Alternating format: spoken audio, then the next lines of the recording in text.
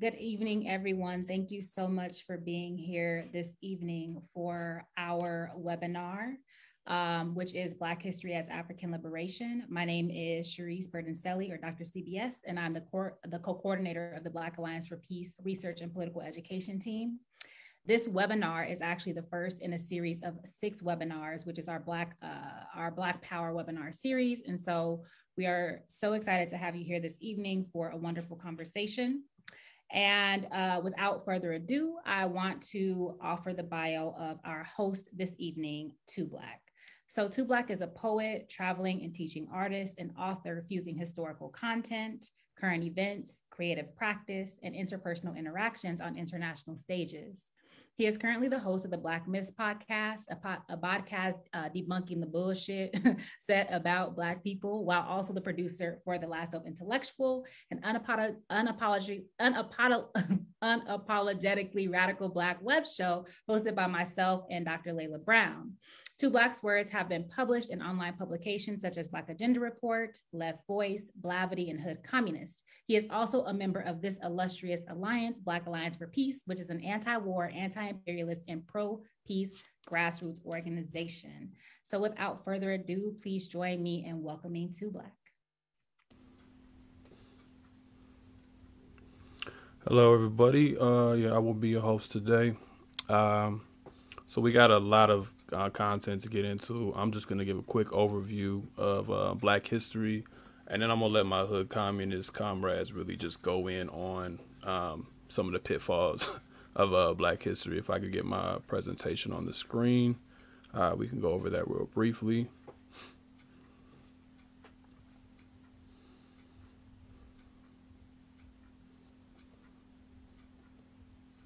All right. Um, actually, I'm gonna don't have that. Somebody. sorry. Which one?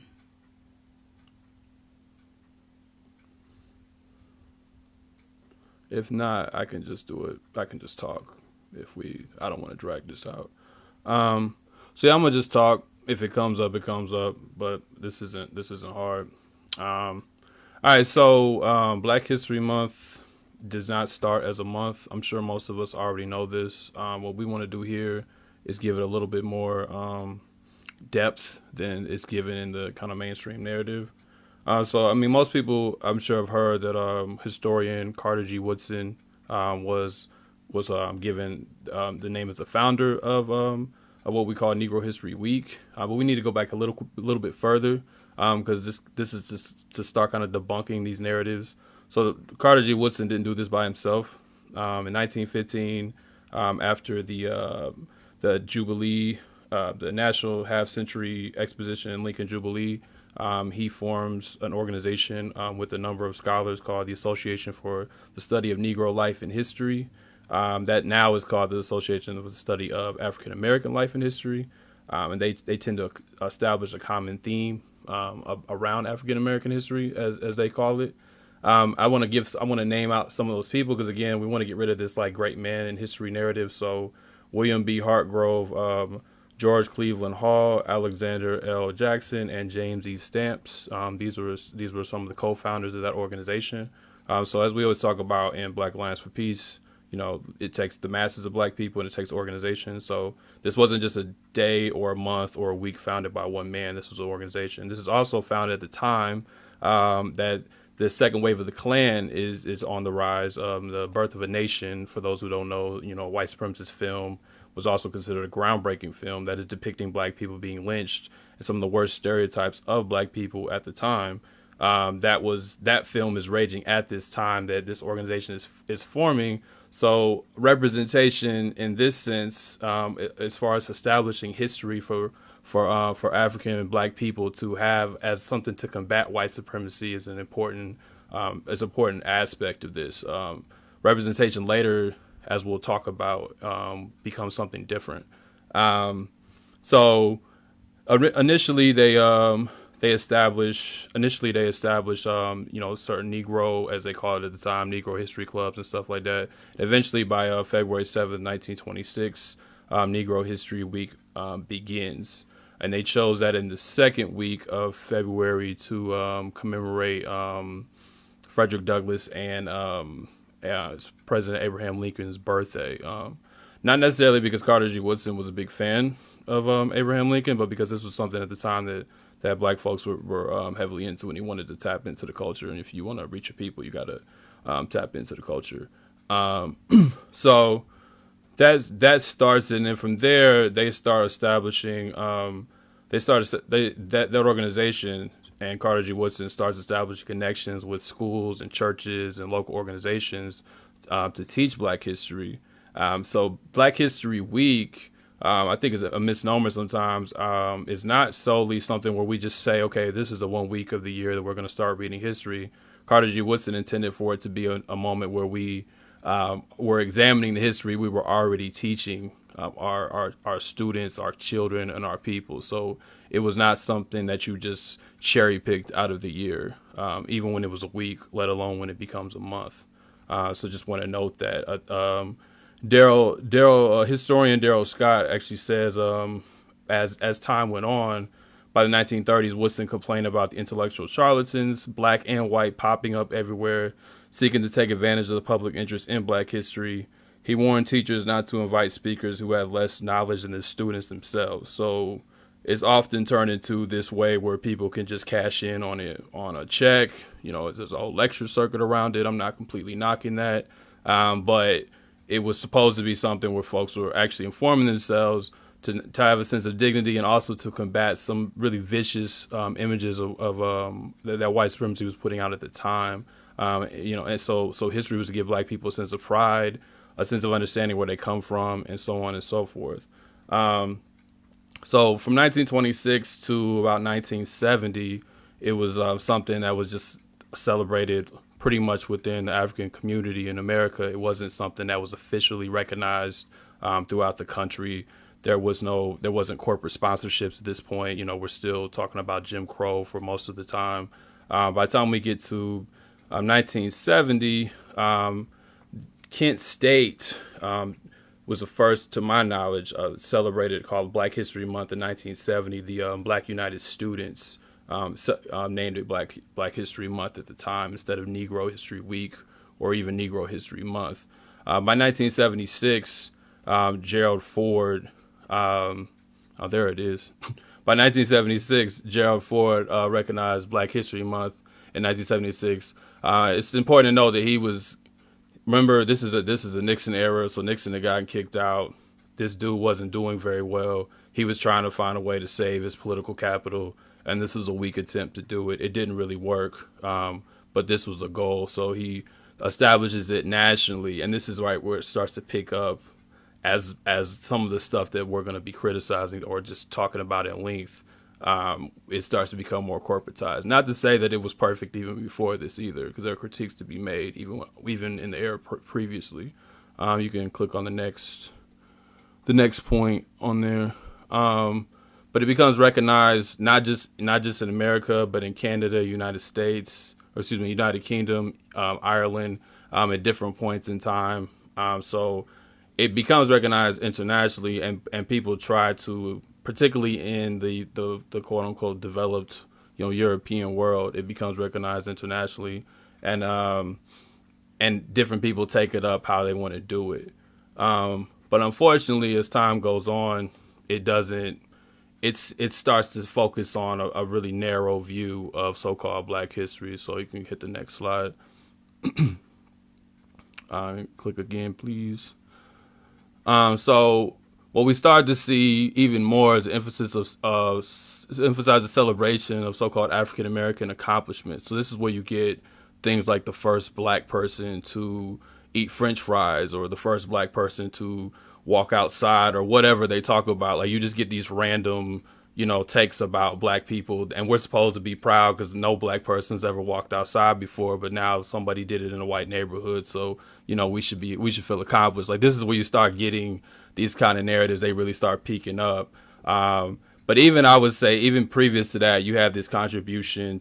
They're they're trying to focus on black contributions to America, which kind of helps re it kind of helps further colonize people into this mindset that we're trying to like look what you did for America, right? Like that. That's how it tends to go. Um, next point. Um, yeah, I said first blacks. Uh, so, and you, as you see on the side here, um, proudly supporting historically black colleges, and universities sponsored by McDonald's.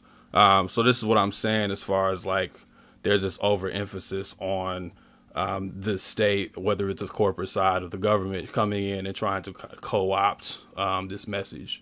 Um, so what today we want to do is talk about um, today we want to be able to talk about like not only just how it's been co-opted, but maybe a more radical understanding of how we could how we can view our history because maybe we don't need to focus on celebrations in that sense. Or maybe if we are celebrating maybe there are different things we need to celebrate and maybe we need to have a more critical analysis of history. Um, so hood communists have written this piece um, and that's what we're here today to talk about. Um, this piece called uh, why we say fuck black history month. Um, and, and, trying to move towards you know african liberation month as, as we're discussing today and understand this in a more in a more critical way. Um, so that's just a quick bit of like how how um, Black History Month came to be. Um, there's much more. Like I barely scratched the surface, so I would encourage y'all to, to um, those who are listening to look into it further.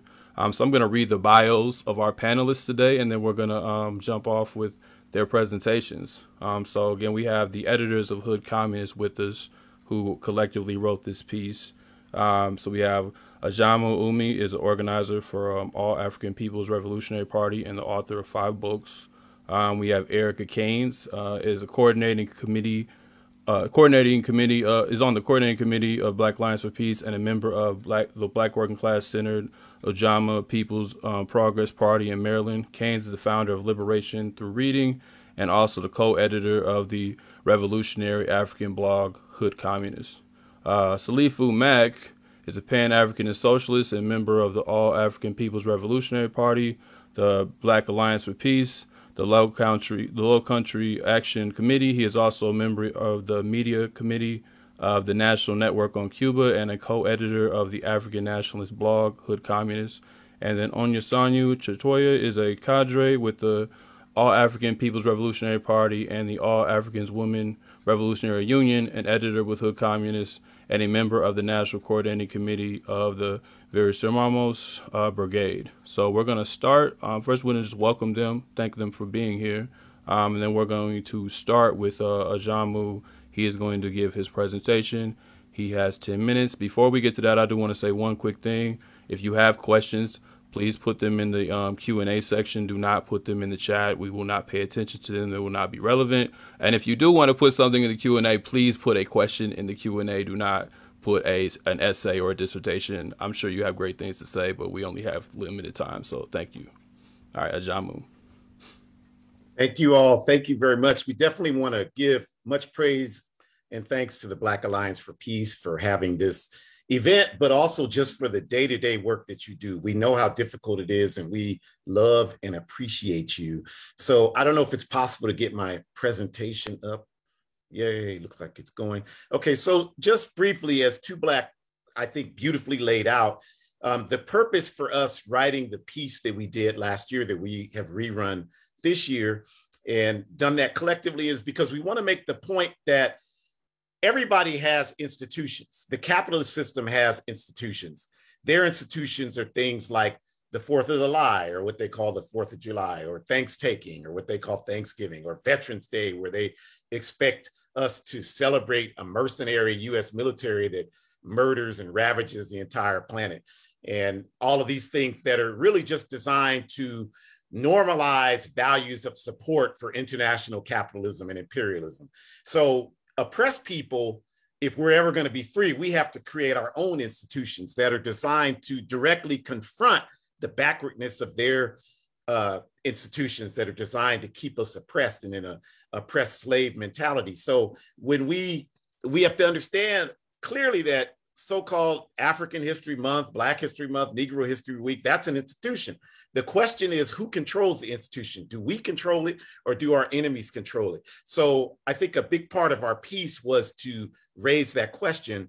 And that's what we want to do. So we split it into sections. And the section I wrote is about how Africa and other parts of the African diaspora, meaning, in other words, Africans who don't live in the United Snakes of America, how that's completely excluded from this so-called Black History Month annual commemoration. So if I could just go to my next slide, first point, please.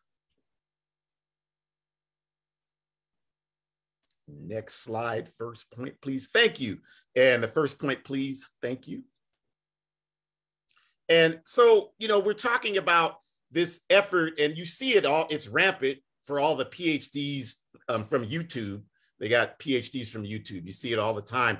This concept going around that, well, we're not the same people. We're not the same as Africans in Mexico or Belize or Dominican Republic or Brazil or Nigeria or France. And you hear this all the time, but there are several reasons why this is just an absurd analysis. The first one is that if you look at our history and you, you see it clearly that when they kidnapped us and forced us to come to the Western Hemisphere, they didn't do that in a way that was designed to protect our integrity. So they didn't have air conditioned shuttles lined up on the shores of Africa. Like, are you Ibo? Are you Yoruba? Or are you Fulani? You all stay together. We want to make sure you all stay together. No, they just ripped us apart and took us over here. So Africans in Belize, in Brazil, in Honduras, and Puerto Rico, and Brazil, a lot of these people are your biological relatives. So that alone makes it absurd for us to accept the colonial definition of who we are.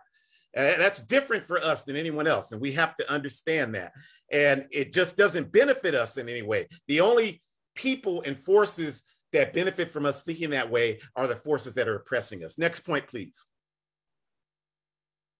And then the second part is that we we have to always remember that the strategy of capitalism is to always, always, always, always create loyalty for Africans in the US to this backward capitalist system. So you hear it all the time with African people. Well, all I know is America. So that's what I focus on. Well, that's by design, by our enemies. So we have to begin to promote this concept that it's not in our interest to just see the United Snakes of America. In no way does that benefit us as a people. What benefits us is seeing our people all over the world because our problem didn't just start in this backward uh, sewer pit that we call the United Snakes of America. It started before there was a United States of America. So it can only be resolved by looking at the entire world. So we have to begin to perpetuate that. Next slide, please or next point, please. I'm sorry. So capitalism, as we all know, was built and is maintained on exploiting Africa and exploiting Africans and a whole lot, exploiting a whole lot of other people. So since we know that, logic dictates that our strength comes from our unification. The only way we're ever going to bring down this backward system is we have to be unified. So when our people in the the Coltan mines in the Congo decide we're going to rise up and we're not going to pick this for Apple and Samsung. Apple, Samsung, Motorola, those are US based largely corporations. We work for them here. We live by them. We ride the bus by them, whatever we do. So when that begins to happen, we play a critical role in shutting those places down so that they're unable to function, so that we can begin to empower ourselves to see that we have the power and we can create the reality where we free ourselves, free our Coltan, so that we can use it as it should be used to solve the problems that we have as a people and not to go into the pocketbooks of Apple and Motorola and all of those thugs, crooks, and criminals. So, with that, I, I say again that our situation is international. And again, Black History Month, as it's presently practiced, is designed to make us good American slaves and to only look at the slave master and the crumbs he gives us and the United Snakes of America. And as long as we don't expand beyond that backward analysis, we, family, friends, and any police on here will forever be stuck in the situation that we're in today. Thank you.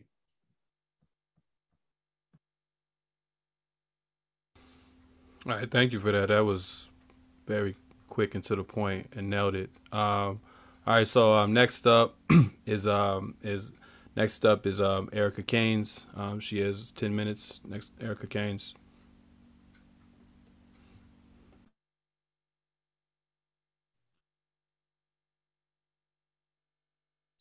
Peace, Africans. um, I'm just waiting on my image.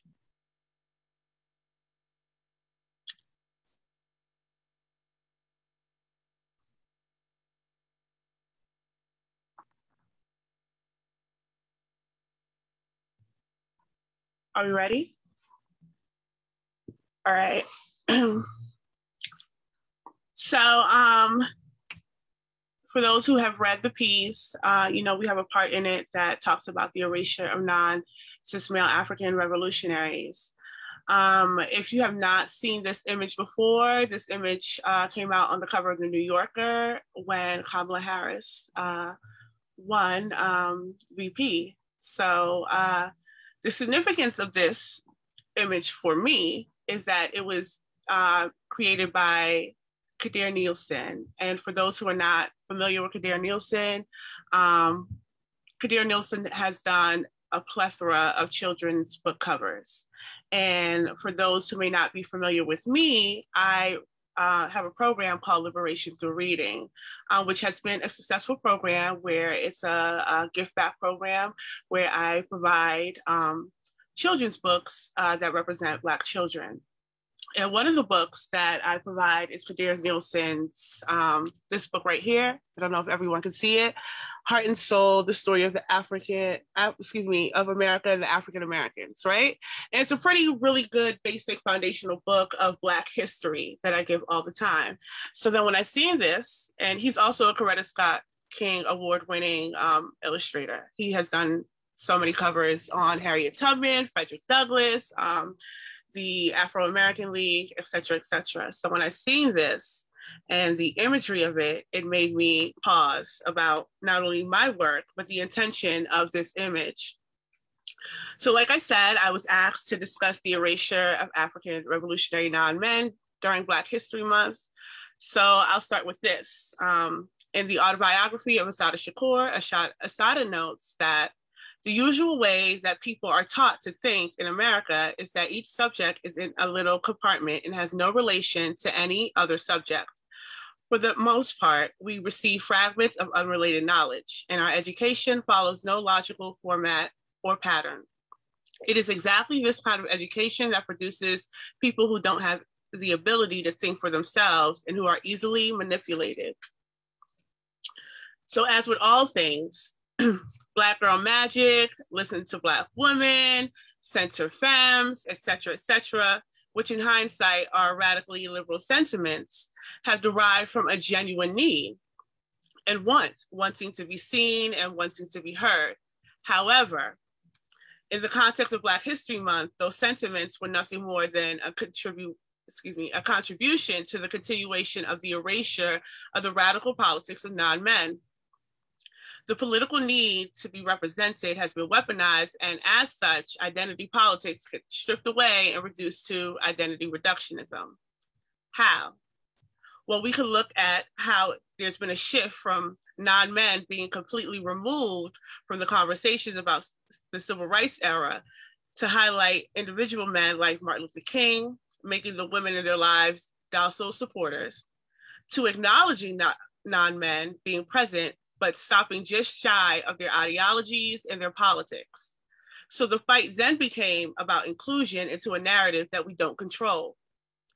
Just as Woodson knew, intellectual charlatans would take advantage of the public interest in Black history.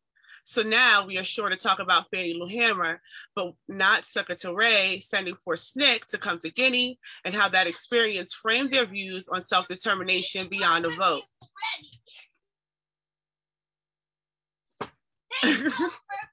and now we can comfortably uplift Marsha P. Johnson, but none of her organizing work or the plethora of organizations she founded in her lifetime, including STAR, and uplifting Bayard Rustin in spite of his affinity towards Zionism, and maybe mentioning Balagoon in passing because of an identity, but never the ideology and the politics. A former top cop can haphazardly be compared to Shirley Chisholm, but no mention of Black communist women, Charlie Mitchell and Charlotta Bass being the actual first Black women to run for president and vice president. The focus of identity skews any focus on the ideology as if this holds no significance. Political differences are stripped from the discourse. So we talk about so many non men now as first this and first that. But what we are continuously directed away from are politics and their commitment to the people. And this is called progress. This is a win. So Harriet Tubman on the dollar, Maya Angelou on the quarter is a win. A Black woman Supreme Court judge is a win. These things, of course, are our ancestors' wildest dreams, as told to us by corporations stripped in red, black, and gold. Excuse me, red, black, and green. But if we acknowledge more than the representation of, but the beliefs attributed to our ancestors like Ella Baker, Amy Ashwood Garvey, Winnie Mandela, etc., then we would understand the need to not just acknowledge the intersections of who they were, but understanding what they stood for and who they stood for. These are the critical questions we need to ask as we move forward with clarity on how we got into the position of exalting non men who take up the space as tools for empire, as symbols to honor, value, and strive to be, while the history of revolutionary non men is folded into the American project and a sole identity of patriotism. Without any critical examination of how we are taught about any of our radical figures in a nation where colonized communities have had to fight to have a say in our curriculum, community control of education, and what we what our children learn, we will inevitably be subjected to the normalization of identity reductionism, the normalization of first blacks, and ultimately the normalization of intersectional imperialism. Representation without a concrete revolutionary politic is just another form of counterinsurgency and a far away from African liberation. So to close, I'd like to leave you all with a quote from Claudia Jones in The End of Neglect to a Problems to Negro Women. The bourgeoisie is fearful of the militancy of the Negro woman, and for good reason. The capitalists know far better than any progressives seem to know that once Negro women undertake action, the militancy of the whole Negro people and this of the anti-imperialist coalition is greatly enhanced. Thank you. Thank you. Thank you. Um, again, as y'all can hear, like I think someone said in the chat, this ain't for the faint hearted. So, you know, all right. Um, next up, we got uh, Salifu Mac. All right, ten minutes. And real quick, um, if y'all have any questions, remember put them in the Q and A. I don't see anything in there as of yet, but go ahead and put your questions in the Q and A. All right, Salifu.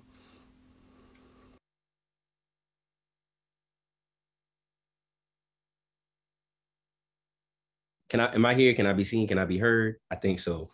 All right, cool. I'm gonna go with it. All right, so um assalamu alaikum to everybody. Free Mumia, free all political political prisoners. I'm very excited to be here talking about this today. I got a lot to say and I got 10 minutes to say it. So let me just go. I'm not gonna waste a lot of time on this slide. I just want to make a point because I know y'all seen this girl going viral. She don't wear my nerves down so bad over the past few weeks. But something that I've been thinking about a lot lately is how we get from this image on the left, which is Claudia Jones, um, and we all understand the history of Claudia Jones and the, the way that the state uh, pursued her relentlessly, right, for her for her anti-imperialist communist politics to this point where we're all seeking to be influencers, lifting up ourselves and our images, spouting State Department uh, talking points. Um, and I want to make the point here that a lot of this has to do with the erasure of African organization. It's something that's big as a part of Black History Month. Um, we've seen the lifting up of sort of like the one great man and then no follow up about the organizations that these people come out of. So let me get the next slide. All right. So again, I want to make this point that we have we've had African organizations erased. So what we see now culturally should not surprise us. The first thing is a culture of vanity very individual centered analysis. Everything is about how I feel, my lived experience, what I saw, what I observed. How can I be lifted up? How can I be platformed? Another thing is this like intense focus on anti-authoritarian politics and most people don't even know what that means and so it's like y'all cousins be online talking about how they hate organizations and why people don't need to be in organizations and all that kind of foolishness um, and then the other thing is that we are we have this like intense fear of growing and changing and being hesitant to reevaluate our tactics. Because again these are these are all three things that come from being a part of organization. If you've ever been in an organization then you understand how important all of these things are. Let me get the next slide. So i just wanted to put these beautiful africans on the screen. I wanted y'all to see African people in in community with each other, in organization with each other. Um, let me get the next one. Look at them. Uh, so um, one of the things that I want to do tonight is lift up an organization that is very important to me because they because of the growth that they demonstrate over time and how they eventually reach a particular politic that I believe right now we are seriously lacking and really in need of. Let me get the next one.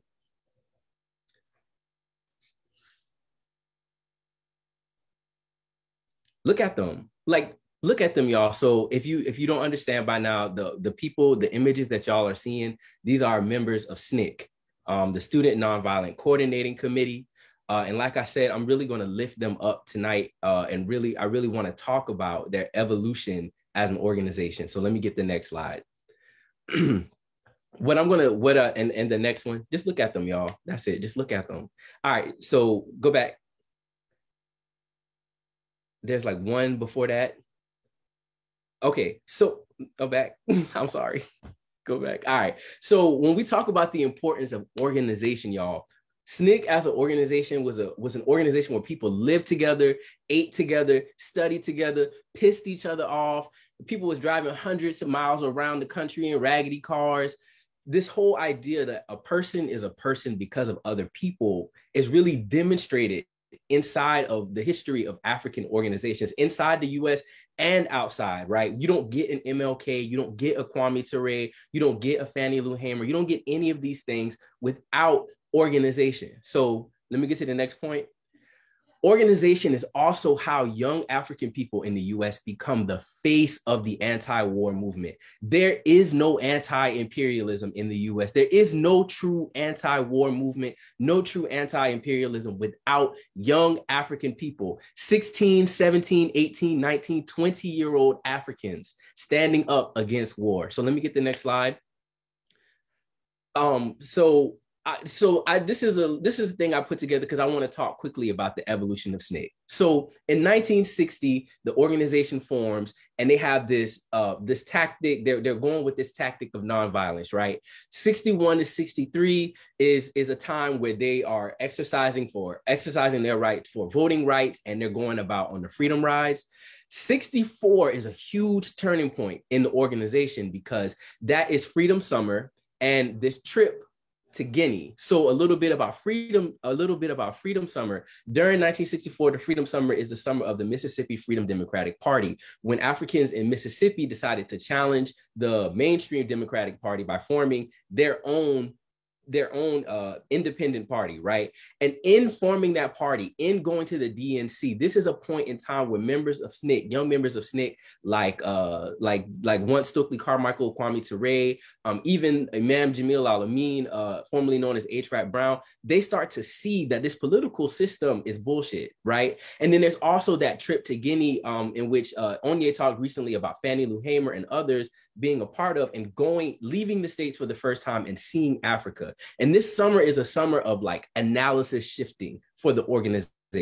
So 66 is when SNCC starts to lean heavily into its Black power position. And they also start to develop an anti war stance. So you hear, hell no, we won't go everywhere. It's on t shirts, it's in movies, and all these things. That came out of the mouth of Africans in the US first and foremost before it was before it's been co-opted and used everywhere else 67 to 70, SNCC starts to develop an anti-colonial, anti-capitalist position, right? And I'm going to show y'all in the next few slides.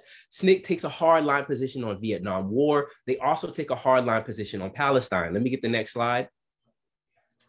So this is this is a letter that they went around um, posting uh, and it basically is telling Negroes why they should not be a part of fighting for any war for America. This is something that we are incredibly confused about right now, by the way. Let me get the next slide.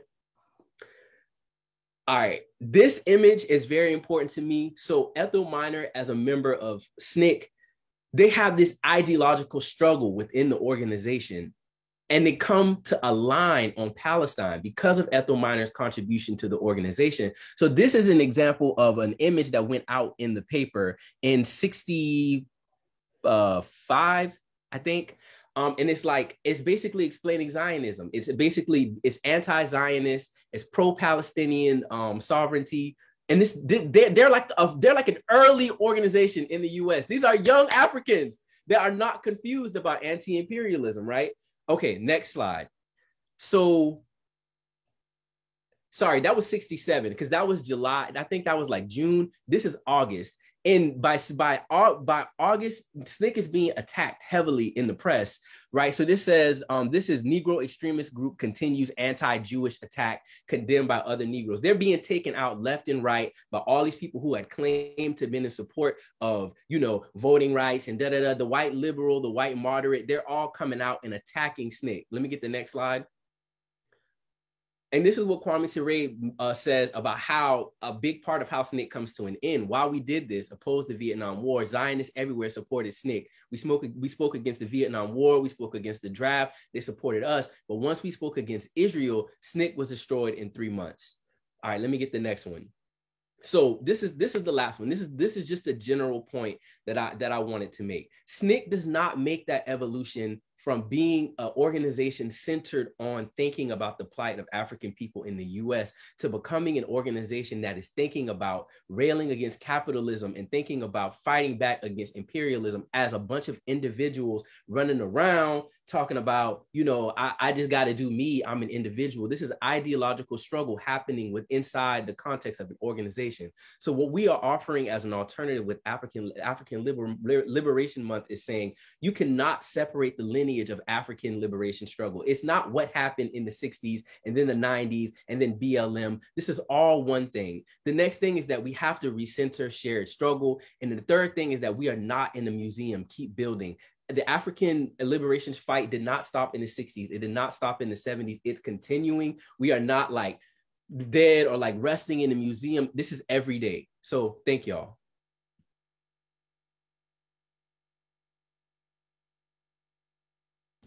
Uh, thank you, man. That was that was uh that was dope. Like that was a that was a master class education. I'm gonna go back and watch that myself. That was great. All right. Um, our last, uh, given the last presentation, and we're gonna get into um, a more interactive conversation with questions.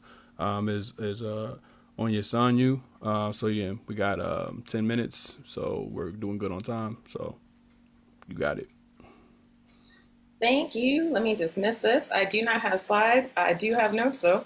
Um, so the art portion of the article that I worked on was a section talking about the promotion of neocolonial propaganda in Black History Month in particular, but in general uh, within Western capitalist societies.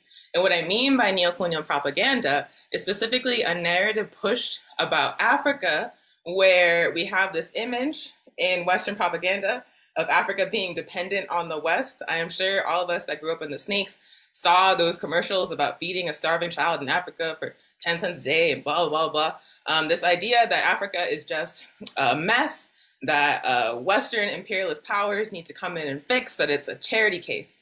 The reality, as has already been stated multiple times, is in fact the West is exploiting Africa. Africa is propping up the West. Africa, in reality, is trapped in a parasitic relationship with nations like the United States, uh, uh, with Europe, with Israel, with Australia. They are looting Africa's resources. They are looting Africa's labor. They are looting Africa's land, and they are doing so to build the wealth of these capitalist imperialist nations. So Africa is not a charity case. The West is actually a charity case. The West is why those children are starving why they are working in mines at eight, nine years old, why they are brutalized by police and militaries all over the continent and, in fact, the world.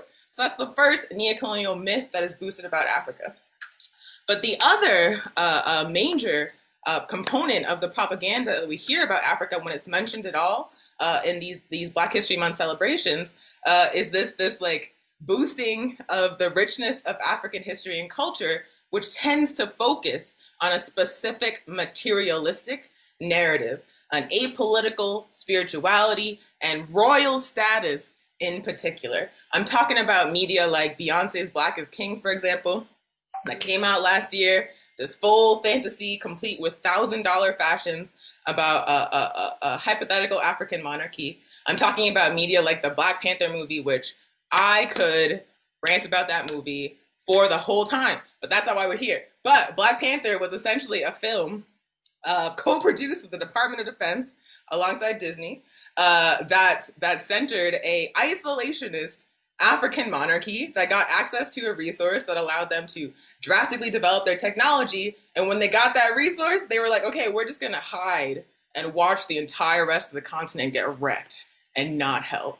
And that is who we were taught to aspire to. And I understand why African people responded to it so positively because we're used to seeing images in media, uh, in capitalist media, that denigrate us, dehumanize us, uh, exploit us. And so seeing African people who were independent, who were dignified, who had a sense of who they were was like very, very powerful for us. But when you really like peel apart what that movie was doing by elevating that monarchy, by making a CIA agent the hero, uh, by demonizing revolutionary African politics, particularly uh, militant struggle, it was a really insidious piece of propaganda. Uh, uh, and then even things like Coming to America, which, you know, I like that movie, it's funny. But again, it's a particular image of Africa that is centered on material wealth, that is centered on monarchy. In reality, the vast majority of Africans living on the continent, the vast majority of Africans in history, were not kings and queens. We were workers. We were peasants. We were priests. We were teachers. You know what I'm saying? Like we weren't monarchy. So why is this the dominant image of Africa that we see in capitalist media? The parallel to this, the parallel to this is that when the reality of Africa is discussed, when the reality of African people is discussed, we oftentimes see straight up enemies of Africa elevated in these commemorations, elevated in Black History Month, elevated in capitalist media. We see the worship of people like the Obamas. Barack Obama saw the drastic expansion of the U.S. military footprint in Africa through the U.S. Uh, Africa Command.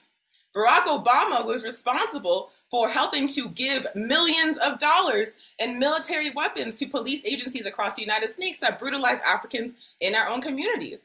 AFRICOM engaged in the same work in the African continent, arming, training, and funding counter-revolutionary military and police forces to brutally repress African people resisting neocolonialism and imperialism. Barack Obama was terrible for Africa, point blank period. Barack Obama is held up as a hero for us by these capitalist commemorations.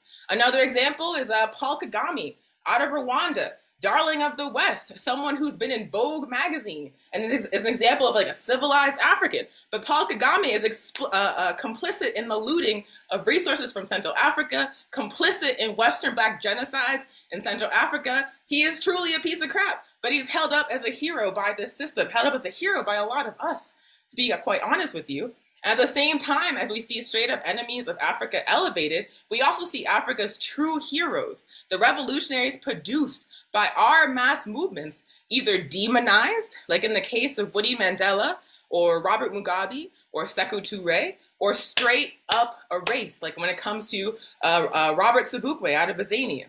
So the enemies are held up as something for us to aspire to. They get magazine covers, they get coins, they get paintings, and the true heroes are erased, demonized, and attacked. This is what we are dealing with with this neocolonial propaganda.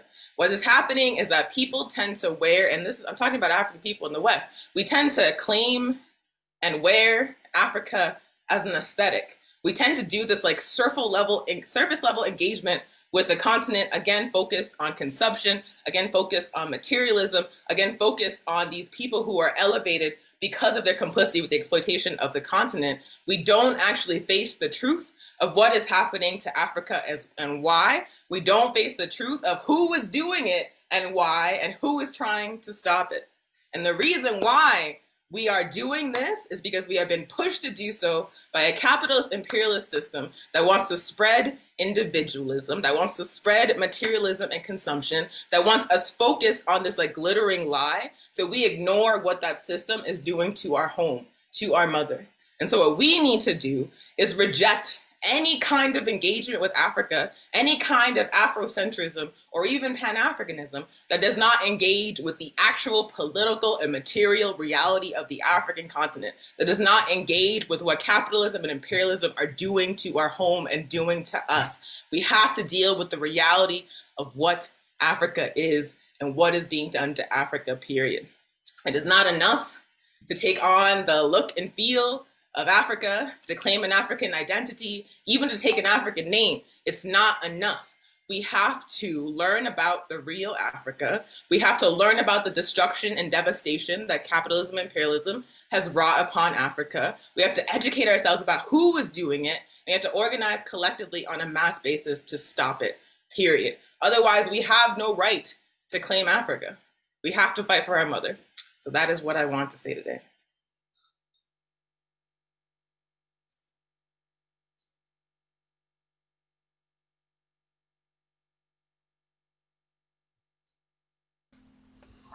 All right, that was dope. Thank you, thank you. Um, so yeah, everybody now can um, come on the screen.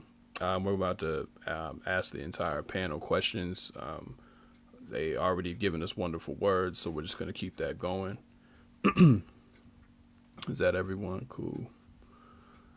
All right, so um, as y'all were talking, y'all y'all were naming a lot of like stuff that doesn't get left in history. I was just thinking about, and also talking about how this this gets weaponized against us. And I was thinking about um, I forgot to say this at the beginning. There was a sto- story that came out where um, Brian Flores, he's a NFL or former NFL football coach. He was suing the NFL for discrimination um, up against black coaches, and then NFL hired um, former AG Attorney General um, Loretta Lynch, who was the first black woman Attorney General of the United States, uh, to defend to defend them against it, against him um, in this case. And I know none of this is radical, but it's just interesting that even something as simple as him just trying to work on discrimination, um, they go and find they go and find a um, a first black to do that. So, um, in reference to that, um, what um, African achievements and accomplishments, if any, should we be celebrating and commemorating to move beyond black first or first blacks?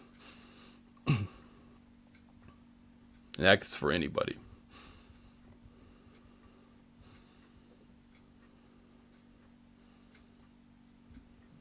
Okay. Um, I, well, go ahead. You want to go? Okay. Oh, well, a few things. Well, first I want to say, um, my, I know Loretta Lynch from uh, Baltimore City, uh, like uh, you know, uh, firsthand experience with the consent decree. Um, so always pro police, so not surprised um, if you know her legal history. Um, but also today is Huey P. Newton's birthday, right? So I think we should recognize that. Um, that's that's what we should be celebrating. That's the direction. That's what we should be not not just celebrating because i think we should be um, studying right? Because i think we want to the intent of the piece that we wrote was to move away from highlighting individuals right? It wasn't just huey it was the party that made huey it was the study that made huey it was the struggle that made huey so i mean that's one that's one example i can give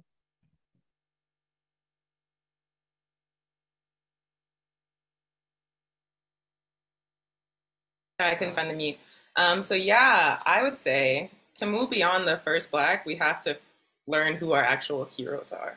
Like right now, it's very, very in fashion. If you get on Twitter, you can find someone just straight up attacking random African revolutionaries. Like I've seen them go for MLK. I've seen them go for Assata. I've seen them go for Harriet Tubman. I've seen them go for Nkrumah, Black Panther Party. If you are an African that fought for the liberation of our people, that made great sacrifices for liberation of our people. In 2022, you are getting attacked on Twitter, and people think they're doing that from the left, and in reality, it's just pure reaction. And so, what we need to do uh, as people in the struggle, as Africans and revolutionary organizations who know this history, is study these people, learn from their work, like learn the truth of their political beliefs, and then be unapologetic about spreading the word. Like that's the uh, uh, Salifu mentioned that we just screened a documentary about Fannie Lou Hamer, and we talked about her trip to Guinea, sponsored by Sekou Touré, uh, with other members of SNCC that like shaped a lot of their political development. Like that's the kind of history we have to be surfacing and telling people about, and we can't concede any ground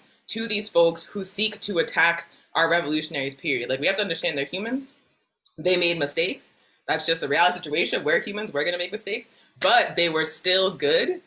They still fought for us they should still be respected and learned from, period. So, like, stop focusing on the first blacks, focus on the folks who actually fought for us and tell the truth about them in as many spaces as possible.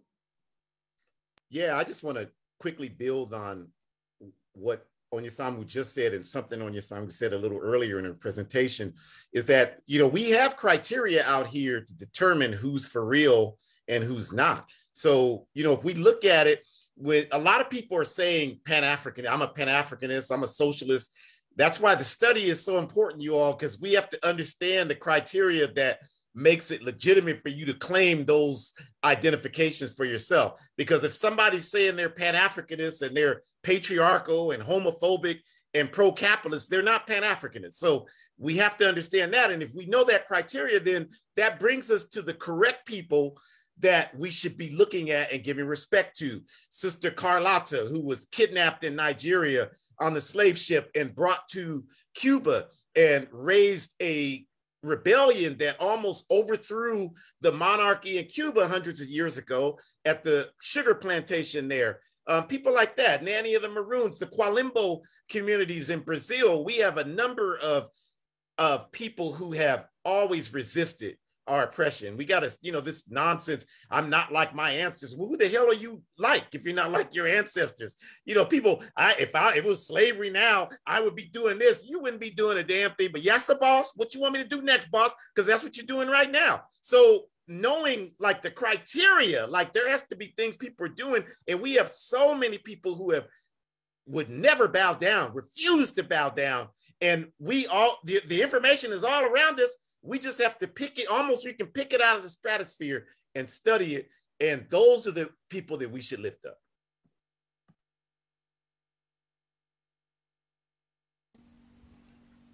You want that one, Salifu? You you think he got it? He got it. Yeah, I think he got it. Uh, all right, uh, another one. Um, so in y'all essay, uh, why we say um, "fuck Black History Month," Um, y'all write, uh, quote, the great month that Carter G. Woodson established to raise political consciousness of his people and instill a feeling of pride has been weaponized against us, end quote.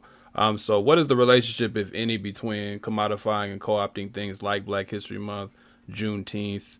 I would even throw in, um, I would even throw in uh, Black August. I think there's a there's a s- slow uptick to try to co-opt that, and um, say and then say like AFRICOM, the 1033 program, um, and Deadly Exchange programs. In other words, what is the relationship between cultural imperialism, warmongering, and state violence? And again, that's for anybody. I can start on this one if that's cool. Go ahead. All right. So in that in that same piece, closer to the, the bottom, at the end of the essay, uh, I made a point to quote the Imam Jamil Al-Amin because he says in uh, Die Nigger Die, uh, white people will co-opt dog shit if it's to their advantage. That's something that we see is very clearly done. It doesn't matter what the institution is that you create or what you name it. If the bones of the thing can be co opted, white people are going to co opt it, which is why it's so important to talk about ideology. That's something that we are constantly talking about all the time when Erica is talking about like identity reductionism and all these things. It's like, yes, it's Black. Uh, the uh, uh, the imam he also says, you know, to be Black is sufficient um to be to, to be to be to be black is sufficient but it's not enough right? It's like great great it's great you're black all right next like is there anything else that comes along with this? Are you a liberal? Are you a conservative? Are you a communist? Like what's the what's what's what's what's the meat of this thing right? And so i think when you think about that and you start talking about things like africom for example what we know as, as we've already pointed out in this presentation is that george bush created africom but Barack Obama took AFRICOM to, to levels that George Bush could only dream about. And the reason why Barack Obama was so successful was so successful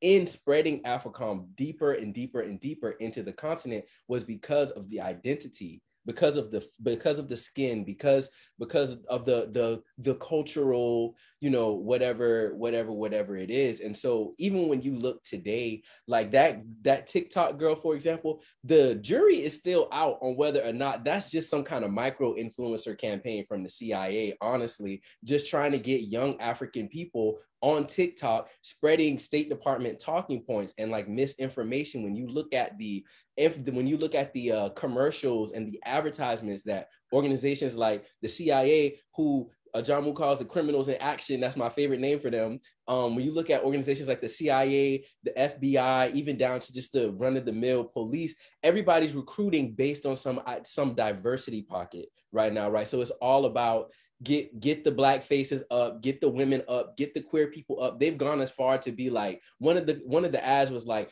I'm a millennial with social anxiety or some dumb shit like that. You know what I mean? It's like whatever you can do to like co-opt and appropriate the things that people are struggling with or dealing with or trying to navigate. That's how that works. And so yeah, so AFRICOM, uh, we're gonna have NATO mascots soon. I feel like that that TikTok girl honestly was the first, and, and we should get prepared for some more. So yeah.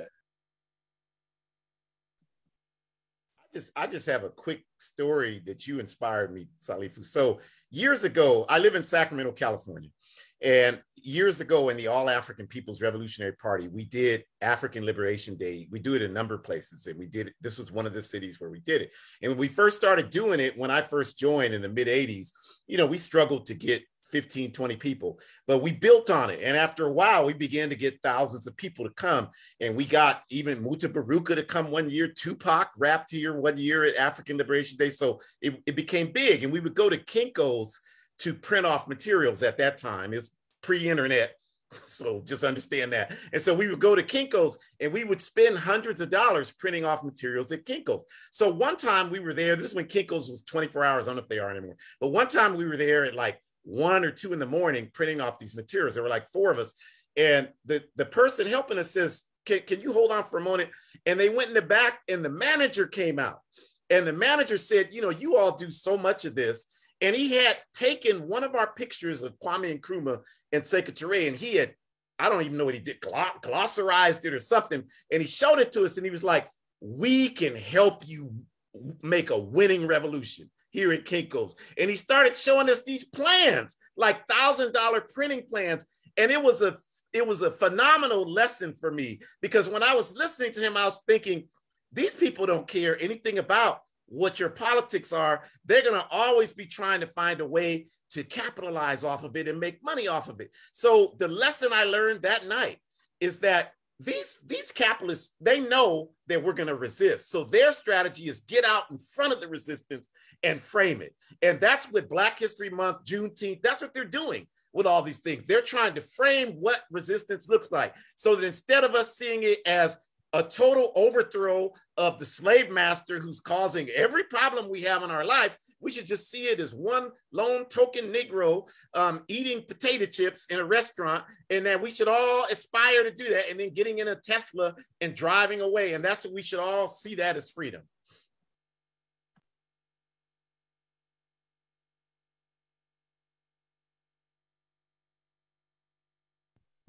Is this still open, or are we moving on? Oh, it's still open. If you want to answer, go ahead. Uh, yeah.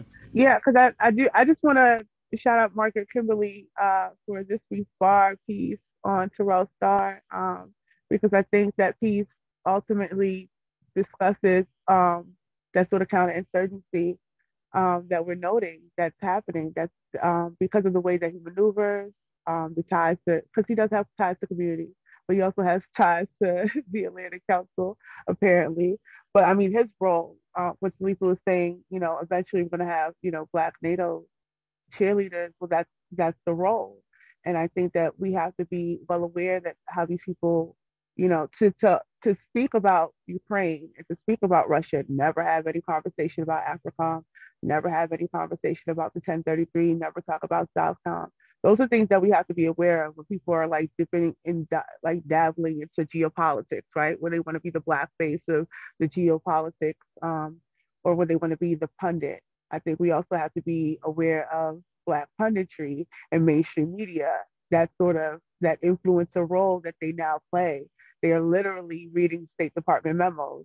Um, it's like from CNN, we talk about Ukraine, you turn on MSNBC and they're talking about Beijing, and then vice versa. And that's a cycle all the time. And then when you have Black people come on board and come on and say these things without any opposition, there's no opposition um, in that framing. And they cycle you into the Democratic line. We watched that happen with uh, how the uprising got overtaken. So, you know, the entire the entirety of the uprising was a cultural thing, right? Everybody came out in Black Lives Matter um, Juneteenth was a big thing because of it. Um, and it got co-opted and drafted and funneled into the Democratic Party line. And that is where we find ourselves stuck. So wherever the Democratic Party is, that is where we're moving under the guise that this is the party for Black people. And I think that that's what we have to be aware of, how these figures play these sort of counterintelligence roles um, beyond neocolonialism, right? Because a lot of them don't even have that sort of political influence, but they do have influence on the people. And we need to be aware of that.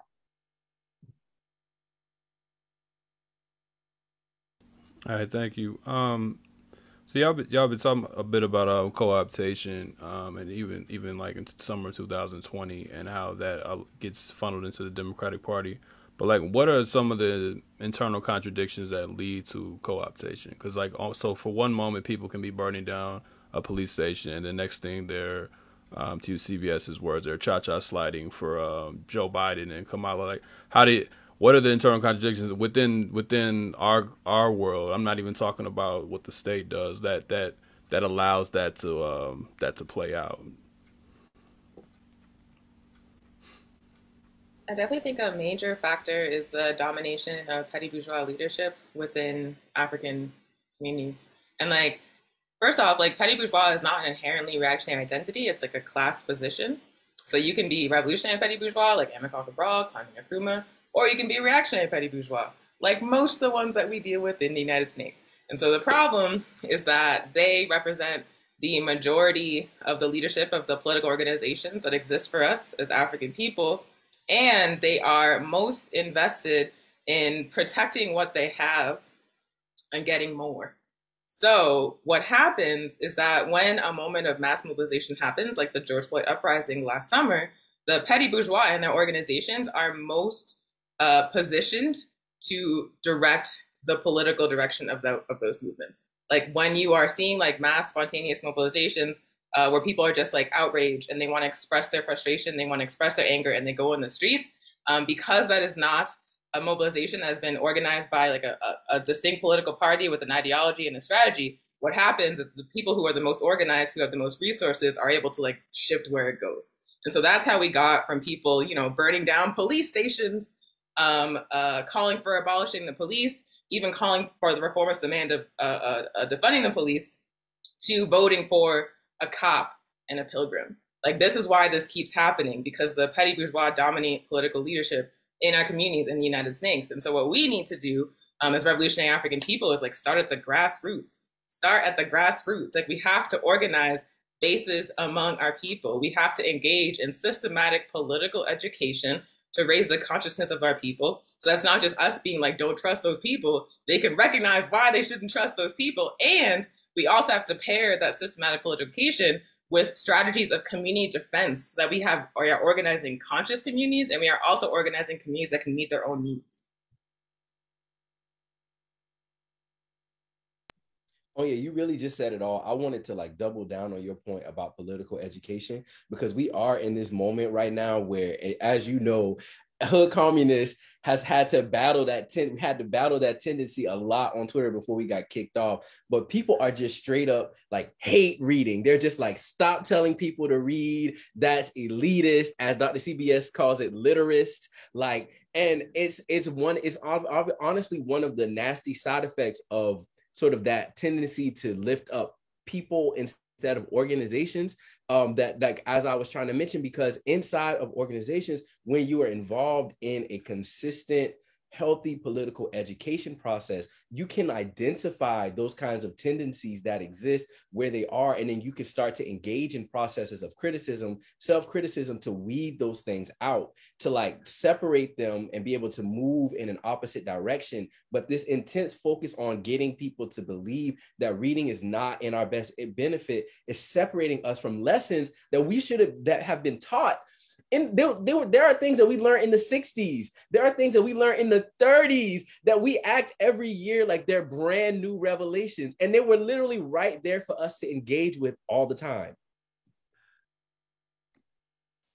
Yeah, you know, we have to always remember also that the African bourgeoisie, as small as it is, and the African petty bourgeoisie, that was opened up. It's always been there, but it was really opened up by the capitalist ruling class to create a buffer class, particularly the African petty bourgeoisie, to keep us in line. So today, you know, you have African billionaires in Africa, Aliko Dangote, and these other people are billionaires. You know, this didn't, this was not a thing 20 years ago. And you have an entire African petty bourgeoisie class here. And a lot of these celebrities are spokespersons for this class, and their role is to keep us focused on trying to make it on an individual level within the capitalist system. Don't pay any attention to what's happening with the masses or people. If they can't make it, it's because they're lazy and there's something wrong with them. They, you know, they eat too much fried chicken, whatever the problem is. Your your goal is to make it in the capitalist system, and that's the role of the African petty bourgeoisie. And like Onyesonwu said, they can commit class suicide and become revolutionary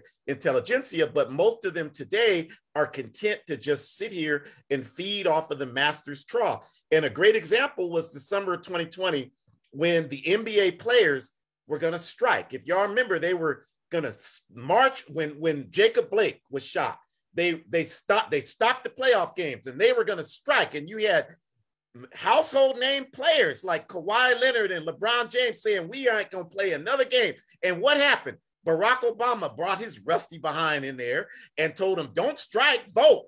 And this was his role. That's his role. That's what he's there to do. And that's what they always do. And we have to, we can't just continue to be hoodwinked by that. We got to understand he didn't, that's what he, he did his job. So now it's our responsibility to do our job.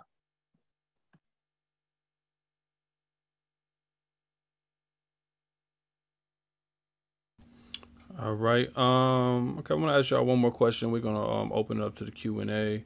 Um, so we've talked, you know, we've we've leveled some uh, good critiques here about you know how this tends to play out this so so called Black History Month. So, like, and I know y'all, and we call it African Liberation Month. So thinking internationally, um, what are some issues, events, and or struggles currently happening in, in the African world that we can use uh, African Liberation Month to draw attention to and focus our political education on? And uh, re- relatedly, how can uh, African Liberation Month be used to um, anti-imperialist and decolonial ends?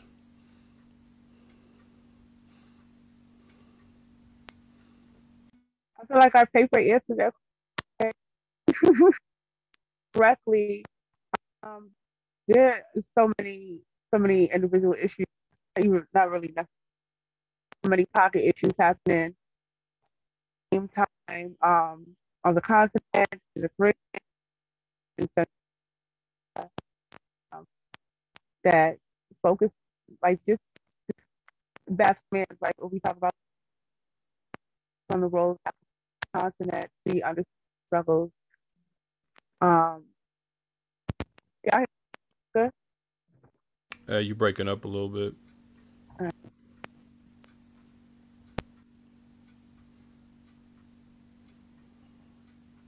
Somebody else want to take that until she uh, gets it gets her audio figured out. Erica, you good? You hear me? Yeah, I hear you now. All right.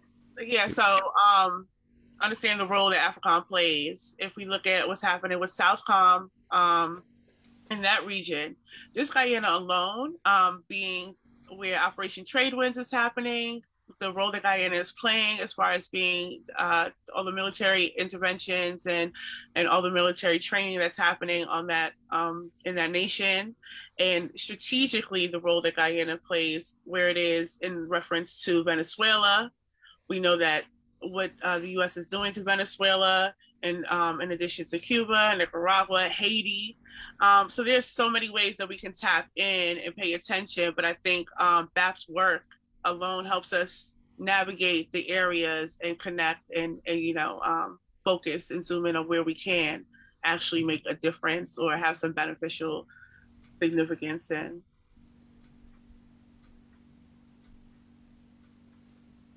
Man, I'm always going up. I'm always going to uplift um, Cuba in every space that I'm in, wherever I can, because as I have learned from sitting around listening to Onye, from engaging in reading, and then from recently being able to go and see the island for myself, Cuba is an African nation. When we start talking about the African world, when we talk about the African diaspora, you absolutely have to think of Cuba because Cuba absolutely thinks about itself as a part, like intrinsically tied to Africa. And what the United States is doing to to Cuba is nothing short of genocide of an African nation. Whenever people talk about Joe Biden, whenever when people discuss Joe Biden, look at Joe Biden, you should not see him as anything less than a murderer. What he's doing, what every US president who comes into that office and refuses to undo that blockade to Cuba is is a murderer. They are genociders and to think about them as anything less is straight up genocide denial. That is an African island full of African people who love Africa and they are being punished for the crime of nothing more than fighting for their right to self determination. And that is important for African people in the States to understand because once we get our shit together and actually begin to seriously engage in that fight, the same things are going to happen to us in ways that, and many of those things are already happening to us. And his, Cuba has historically provided support for anti-colonial struggles of African people in the United States and throughout the continent. So that's another reason why we should work with them. Do we not want that help again? We should want it. Um, but in terms of other struggles, I feel like it's really important to like continuously connect the domestic to the global. And Black Alliance for Peace is like one of the, the best organizations in terms of doing that on a consistent basis. And so uh, for this past week, there have been mass mobilizations of Africans in Haiti protesting against slave wages and sweatshops run by U.S. clothing corporations like Hanes, like Target, uh, places where we buy our clothes all the time, uh, make them in Haiti for pennies. And the minimum wage in Haiti was deliberately depressed by U.S. trade agreements. So those Africans have been rising up by the thousands for over a week. You will not hear a peep about it on the US news. And if we consider that here in the United States, we've seen a resurgence of the labor movement, particularly among service workers that work fast food, that work retail, why we need to connect those struggles. Like the people making the clothes in the stores are fighting for better wages and health care, and the people that are working in the stores that sell the clothes are fighting for better wages and better health care. And there's a clear basis of solidarity there that we can build upon.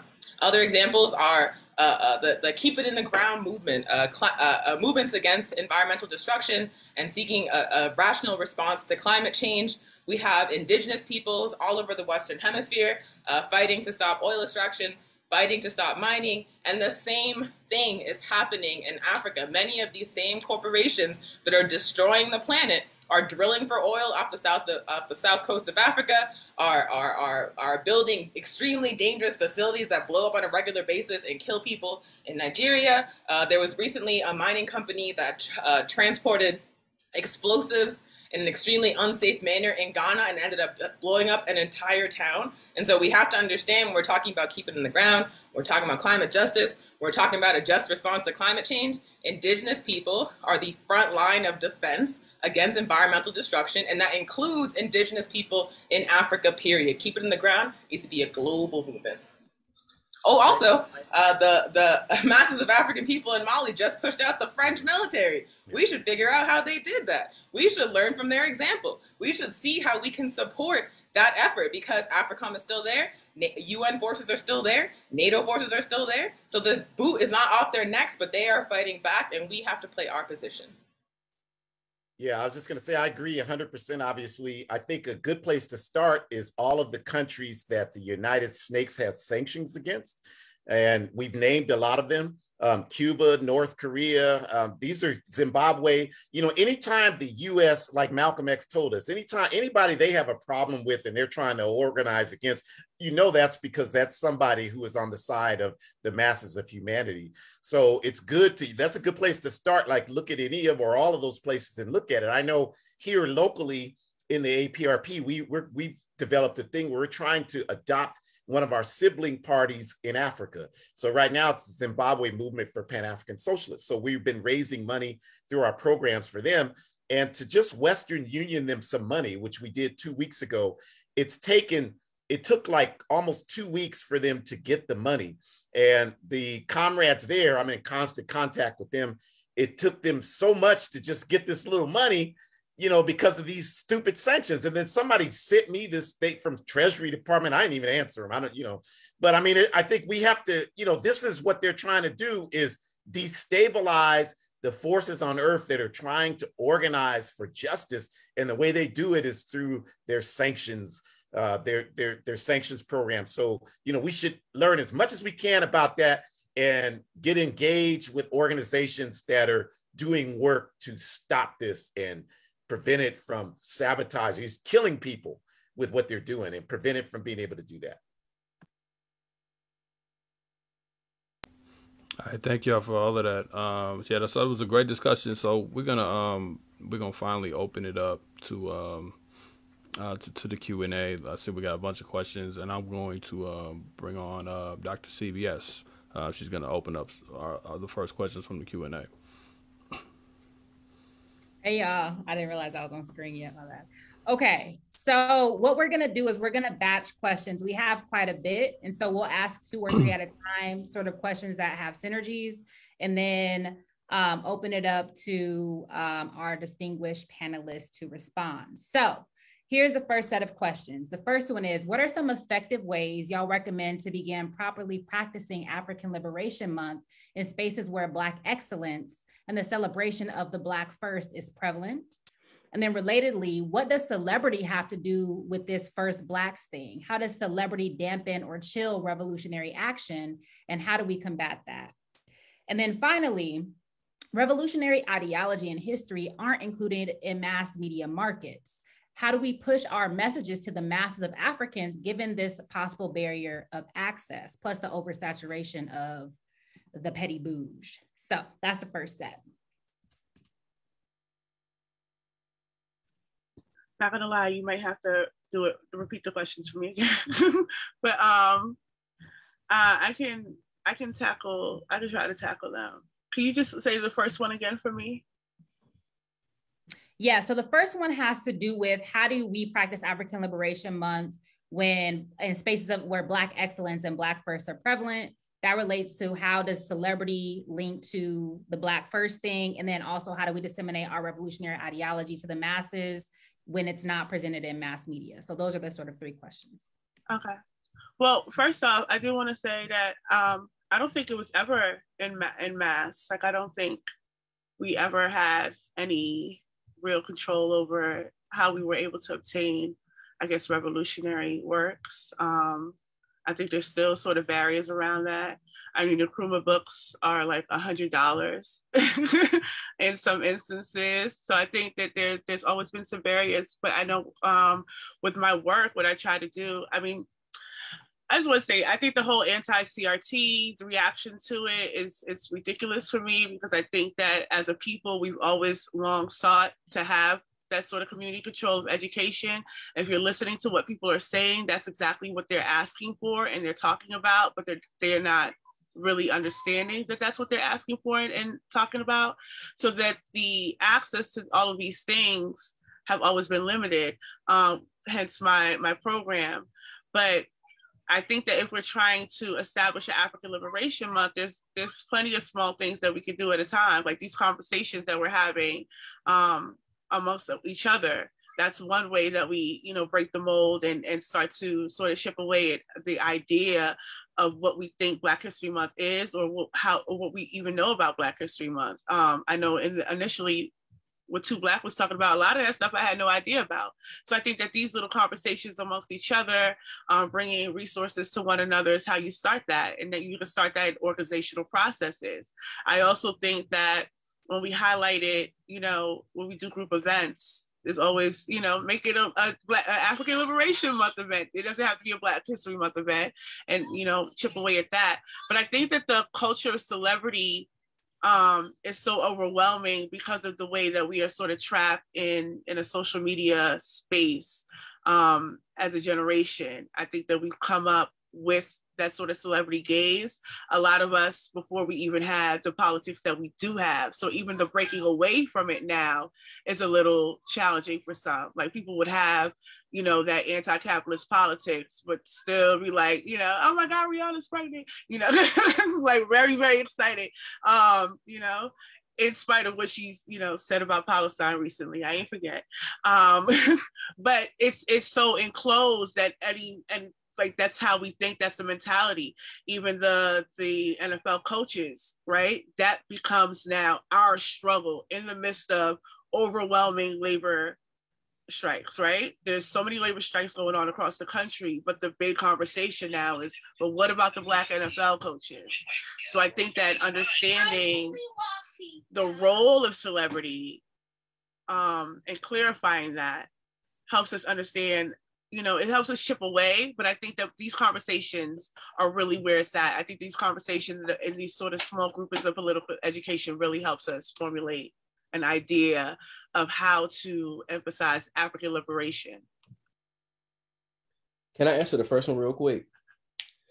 Um, so when it comes to trying to institutionalize and celebrate African Liberation Month, something that I really recommend people really try to hone in on is kids. If you have access to any children in your life, you don't have to be a teacher, you have to have access to a classroom. If you have nieces, nibblings, cousins, anything like that, yo, I have a pre- an African Liberation Day presentation that I made for kids last year. I'll give you my email, I will send it to you explaining these things to kids is not nearly as difficult sometimes as you think it would be because they haven't been propagandized their entire lives against the idea of being African. Many of them have never heard anybody call them African before, but the first time you say to them that they are African, they're going to be very intrigued. And I feel like we spend a lot of time arguing and fighting with grown ass people who are convinced and are telling you straight up they are never going to see themselves as African. They have no desire to be a part of the African world. We need to let them go and do their own thing and like really try to because I think about so many things that are important and special to me now as like a grown ass man. And they're little things that people said to me in passing as a kid. You might sit down with two or three of your cousins at a computer and just and show them that presentation or tell them something about somebody in African history. And like they, it might seem like they half get it at the moment, but as they grow and as they develop, they will build on that idea that's something that we really need to do more of because the kids are right there like they're right there and we be ignoring them sometimes. I agree with everything that's been said um, specifically to the question of like how mass media uh, is reactionary and how our true stories are not told on that platform. Uh, like we know that for a fact. Like ahjamu said the only time they're ever going to talk about uh, african organizations african political figures is to find a way to get in front of our resistance and redirect it. So we know for a fact that they're never going to tell the truth about the African Revolution. They're never going to tell the truth about African revolutionaries or African revolutionary organizations. And so what we need to do is make our own platforms. And that's precisely why we started Hood Communists, because we recognized there was like a gap. Like we needed an anti-imperialist, revolutionary socialist, revolutionary nationalist youth voice uh, uh, to like to, to talk about these issues in ways that the masses of our people could understand. Um, so we can build our own platforms, whether it be like the Last Dope Intellectual, Black Power Media, Black Myths Podcast, uh, uh, APRP, we have several podcasts. Ahjamu does one. We have the For Whatever podcast. We have Weekly Pan African News, Our Ancestors' Voices. Like, we have to build our own media platforms. And even if the audience you reach is super small, you will immediately start to see a shift. Like, Weekly Pan African News probably gets like 200 viewers an episode. And, like, compared to uh, uh, like reactionary YouTube videos or celebrity YouTube videos, like we are much, much, much smaller. But when we go out into our community and talk to people, they're watching it, they're asking us questions about it, they're showing it to their families because we're talking in ways they can understand. So, regardless of how small the audience is at first, we have to create our own platforms that we control and use them to tell the truth. Shay, and I would say to the question of ideology, that we have to we have to really work to demystify ideology to our people demystify the concept of ideology like the way the capital system has trained us like people will stand in front of you and say well i don't deal with ideology. And you know when i was a young young man in ghana the elder woman i lived with she told me boy everything you do is political. Everything has an idea. You go to the bathroom there's an idea behind it. And so we have to just demystify that and, and a good way to do that is just to take concepts and break them down, you know, in just very everyday ways that people can understand them. So, you know, we have this Saturday work we do here in the park, And, you know, this is California. So, you know, everything's gang culture. So a lot of the people that participate come from that affiliation. So, you know, they sit there and we have readings and we're talking and they, you know, we always have these conversations like, you know, what is this thing you're talking about, about collectivism? And so we explain to them, well, look at you, you know, in your blood set.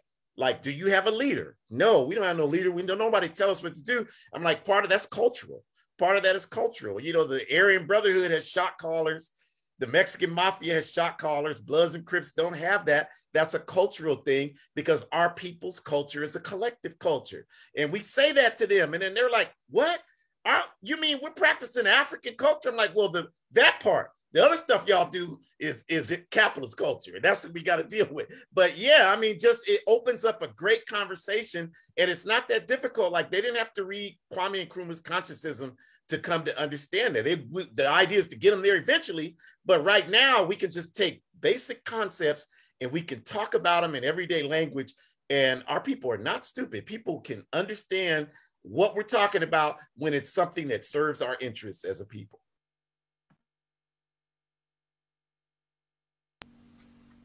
All right. Um. So got two more questions here. Um. So this is the first questions. I'll read it slow, uh, so y'all don't forget. Um. So, uh, how can we uh, effectively organize while entrenched in capitalism? This is part one of the first question. Uh, folks aren't all talking or folks aren't all taking Cadillac money. I guess that's in reference to um, what's her name, Tamika Mallory. Um, but a lot of local organizers really lack sufficient means for even small projects and programs. So again, how can we effectively organize while entrenched in capitalism? Saying everybody's not essentially everybody's not a sellout, but people do struggle with resources. and then the second question, um, trying to uh, change the color of people to operate the institutions now in capitalist system into being operated by black brown people only accepts our colonization, the shopping stores, the schools, the legislators, the jobs, the way we've been done here in the U.S. doing it, but by black people is no change from our colonization. How can we imagine, quote, not capitalism?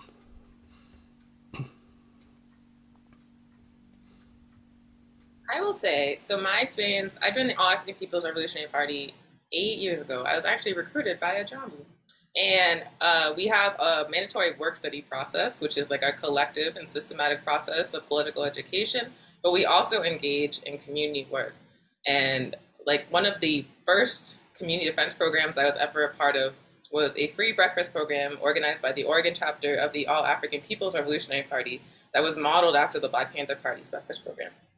When we first um, developed the idea to do this, which we developed by just like knocking on people's doors and talking to them in every neighborhood and asking them what they needed, um, I was like, I don't actually know if we can do this. Because I was like, we don't have any money.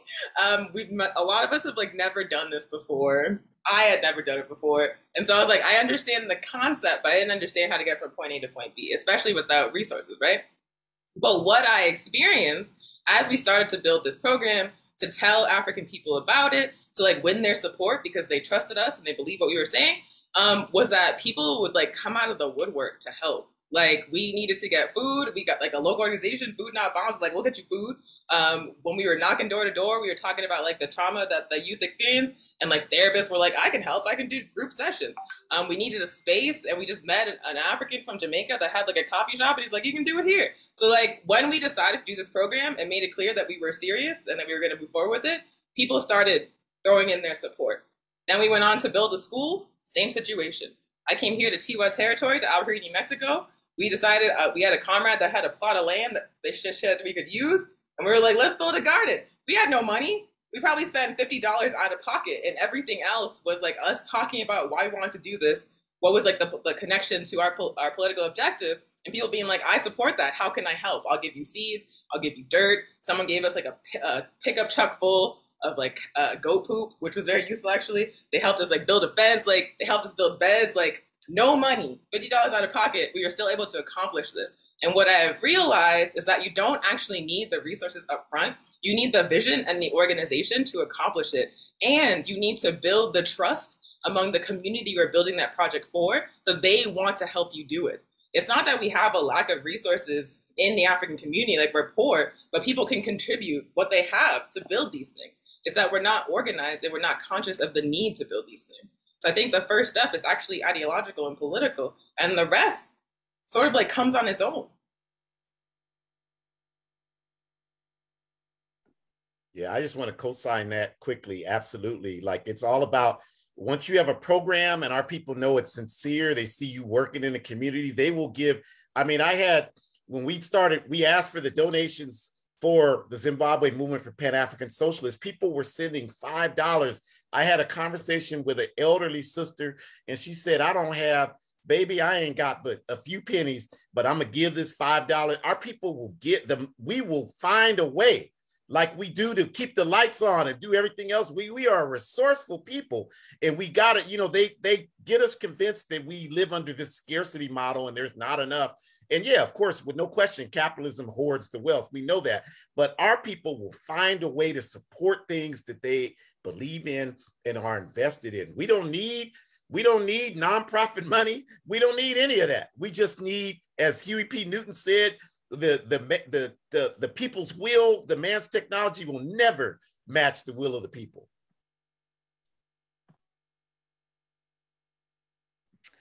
Okay, so I'll ask the next set of questions. I just want to say two things. Number one is the revolution is not a shakedown. So all this putting the Cash App and the Venmos and the thing and calling that redistribution and reparations, that ain't it. And secondly, um, that collective approach, we need to see that as we we often do that in times of crisis, but we need to normalize it as how we actually relate to one another, right? Just wanted to throw that in there. Okay, so two more questions. How do you teach or inform others of gender variant African revolutionaries in their politics? So ones that are not cis. And then to the list of righteous African American revolutionary women mentioned so far, I'd like to add the recently departed ancestor Bell Hooks, whose real theoretical and political legacy, in my view, has yet to be appreciated, especially by many African American male revolutionaries. The question is why? So again, one is about how to lift up um, gender variant African revolutionaries, and one is about why Bell Hooks' legacy hasn't been appreciated, especially by um, male revolutionaries.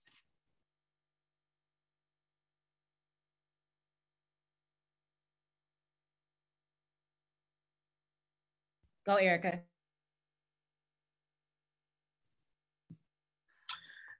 Um, well, I feel like with anything, I, even with what I talked about, right? When we talk about uplifting certain people, we really have to talk about their politics and their ideology, because I don't, I think at this point in time, a lot of people are getting uplifted, right? I don't think that we're at a point now where we can talk about um, diversity um, in that way anymore. I think that there's a lot of diverse reactionaries at this point um, because we never address the ideology or the politics. Um, like I, I mean, for example, I, I always say about uh, Rustin, right? We talk about Rustin specifically because that's a queer man.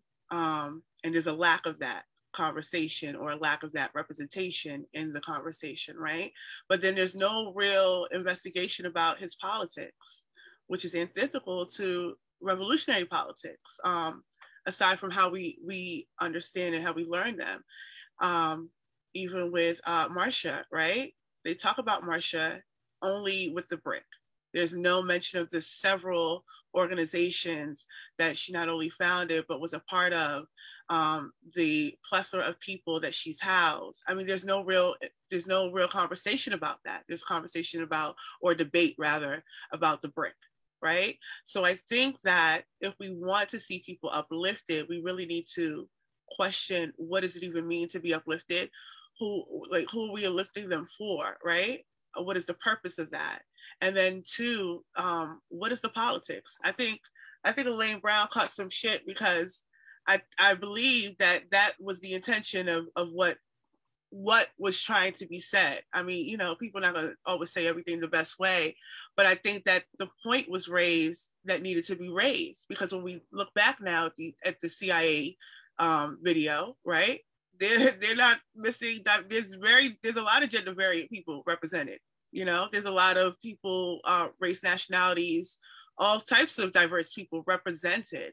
So I think when we're talking about uplifting, we have to be mindful of who and for what and the purpose. And then also to Bell Hooks, I think also um, it, it applies there too.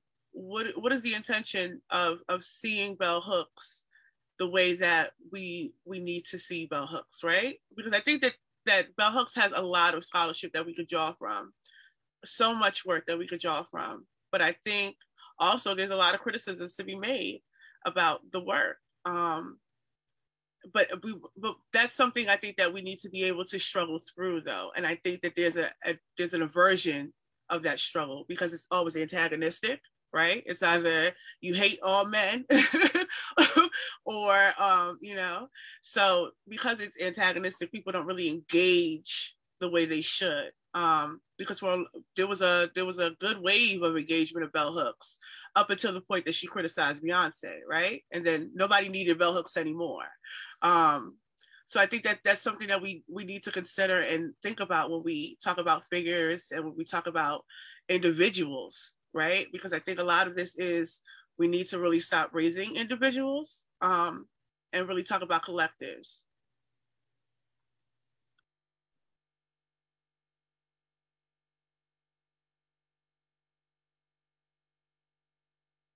Was just going to say something about the the bell hooks piece. Just speaking as a you know, so-called cis African man who grew up in this patriarchal society in a very violent patriarchal environment. And my father was, you know, very patriarchal, good man, but he's very patriarchal. My mother would speak, and he that's I've spoken, that's it, you know, and and that was the environment I grew up in, and we all have grown up in. And my mother would perpetuate those values. You know, she we had a uh, she used to tell me all the time, son, don't get no black woman she gonna mistreat you. She gonna do this. She gonna. Do My mother used to tell me that. So we know it's systematic. So since it's systematic in the oppression of women and marginalized genders, it's gonna translate to everything we do, including who we recognize and who we marginalize.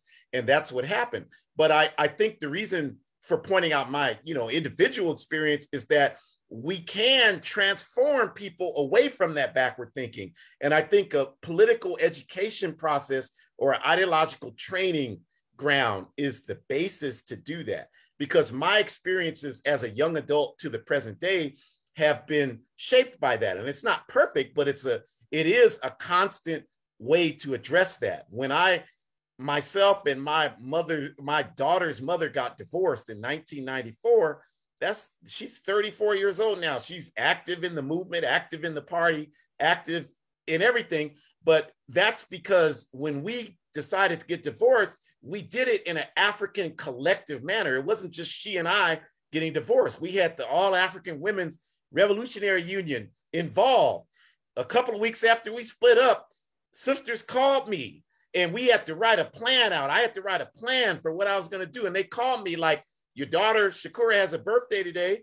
What are you to do? And I'm like, I'm trying to decide if I'm to go. I had given the money but I didn't want to be subjected to what was to be there from, you know, my ex's family. And, and the sisters that called me said, you, you need to go. It's no question you need to go and struggle with me for two hours. And I went. And I'm saying that that is the type of process that we need to normalize. And if we do that, we can begin to break down this backward behavior. Uh, it's nothing, I'm nothing special. It's just that we have to create institutions and processes in our communities that challenge this backward thinking? Um, I want to say on the question of like elevating gender variant revolutionaries and making sure that queer and trans people are included in the project of Pan Africanism. I feel like there's like there's main figures we know like Marsha P. Johnson, uh, Audre Lorde, who actually took an African name, Gamba Adisa. Uh, uh, actually, Carlotta uh, was a queer woman, Carlotta of Cuba. Like we know particular figures, but they're often like held up, like tokenized, kind of in the way that happens with Bayard Rustin uh, uh, uh, or the other, I forget his name, the other queer African man. But the what I'm trying, the point I'm trying to make is that Baldwin. we can't depend, Baldwin, yes, James Baldwin. We can't depend on an analysis that's like centered on like individual figures. We have to build a politic um, that is like holistically inclusive, meaning that we have to understand how queer and trans antagonism were propagated intentionally by colonizers. We have to understand how patriarchy had existed before colonization. For some reason, that's like a controversial statement, but it just point blank did. We have to understand how colonizers exploited existing patriarchy to colonize Africa. We have to understand that unless we work through these internal contradictions, unless revolutionary African liberation struggles, the movement to build Pan Africanism actually means and includes all Africans, that we are just going to get divided and conquered again. So, the way that I have started to approach um, this question of like learning from gender variant, queer and trans African revolutionaries is like starting at the movement and working backward. Um, what I mean is that like when the COVID 19 pandemic hit, for example, uh, people were like, how are we going to protect ourselves? What do we do? We've never dealt with this before. And then queer and trans people were like, we have, because of the AIDS epidemic that happened in the 80s and early 90s that killed many, many people because of a failed US pandemic response, very similar to the one that we're working through. And so queer and trans communities, particularly African working class queer and trans communities, had to organize their own systems of protection and defense, their own systems of healthcare, because the state was not going to provide it. The state was going to let them die. So Marsha P. Johnson, for example, was part of an organization called ACT UP. I'll put the link in the chat um, which I really highly recommend folks learn about because it's a model of like community health. It's a model of community defense uh, that we need to learn from. We are currently living through a pandemic where we're being left to die, and queer and trans African people have already done this work have built organizations and structures and institutions that we can build upon. So yeah, I, I think that we gotta look at the movements and find them, find their politics, find their strategy, and learn from it. Don't just like drop their names.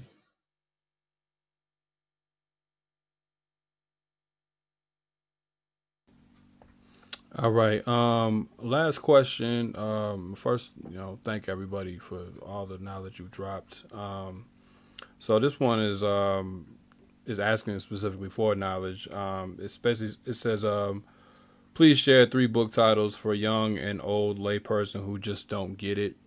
Um, so I'm, I imagine that's like beginner text things that can help people get into some of the things we discussed today. Um, and if y'all would feel free to share that and also like, you know, some of the reasoning behind why you think those texts should be recommended.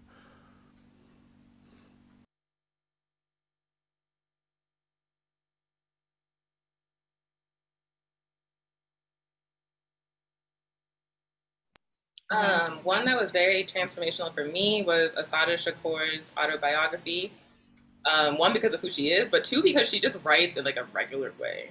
Like she just writes like someone you know, and it's very understandable. Like she's talking about communism, she's talking about anti-colonialism, she's talking about like the day-to-day practice of building revolution, but she's not talking about it in a pretentious or inaccessible way. She's talking about it like a regular working class African woman. And so I feel like that book, the way she breaks down the necessity of organization, the necessity of political education, what it means to be principled, is like a very, very good starting point for someone who's brand new to these politics, particularly young African women and marginalized gender folks? I recommend uh, The War Before by Safiya Bukhari. I'm currently reading this right now.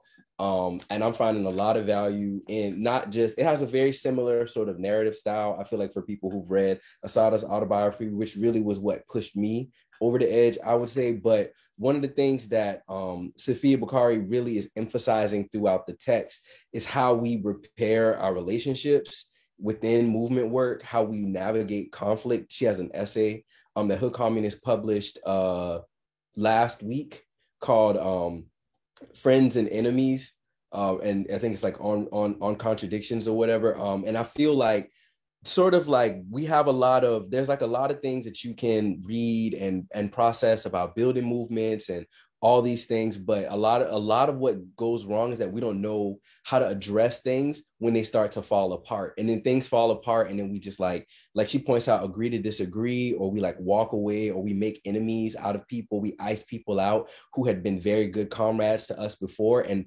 reading that i feel like it's the kind of reading these kinds of things i think are going to be useful for us building a movement uh into into the future because solving contradictions is resolving contradictions is not easy, especially if you're a person like me that's like very conflict avoidant.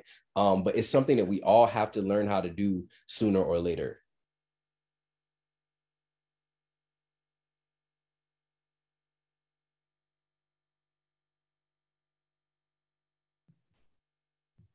I mean, I guess I give my books. um, well, I, I want to say revolutionary suicide, um,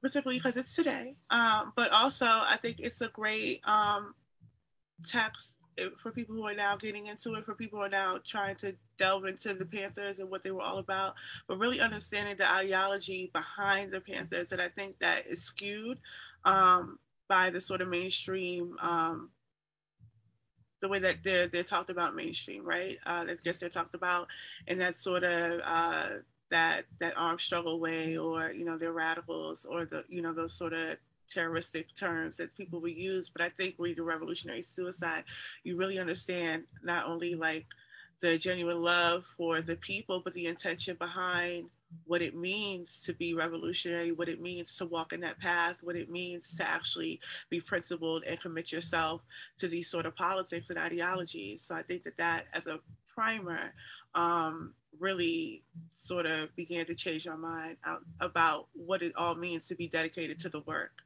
Um, and of course, Assata, of course, of course, of course, Assata. And then, uh, of course, Claudia Jones. I want to give a shout out to Left to Karl Marx because that really uh, transformed my views um, about how I approached um, certain things or certain um, figures.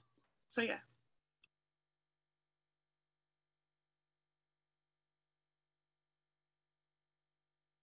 Also, y'all asked can I answer again? um, y'all asked about maybe African revolutionaries that folks haven't heard of. I want to say that the organization, my political home, the All African People's Revolutionary Party, is over 50 years old.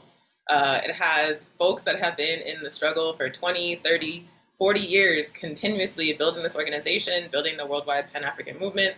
Um, and so a lot of the my like political development has been informed by cadre within the APRP. Like Ahjamu is certainly one of them. And if you Google Ahjamu's name, Ahjamu Umi, you can find his writing. You can find the Our Ancestors' Voices show. But there's also people like Umani Umoja, who is uh, APRP cadre on our central committee. Also, I believe on the central committee of the PAIGC in Guinea-Bissau. And that man came from St. Louis. And now he's in Guinea-Bissau on the political, the, the main organizing body of a mass revolutionary Pan-African political party. Um, and uh, Mengiba Erwat in Ghana, again, came from the DMV, moved to Ghana to carry out party work. If you look for her name, you can find her writing. She's brilliant.